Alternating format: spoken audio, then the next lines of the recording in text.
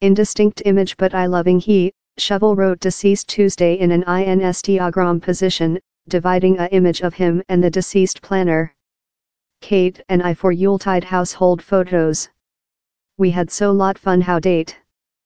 Kate Shovel marital David Shovel sibling, Andy, in 1994, one year following they begun Vogue Mark Kate Shovel New York along. She was so abrupt and fast on her feet, Shovel added in his homage. She could do me laughter so difficult. I yet can't trust he. Kate and Andy Shovel sold out 56% of the Mark to Neiman Mark for $33.60 millionth in 1999.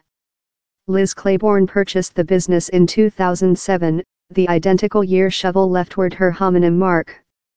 Kate and Andy Shovel had one child along. He's a course planet out down there human beings, try to hover at, David Shovel added.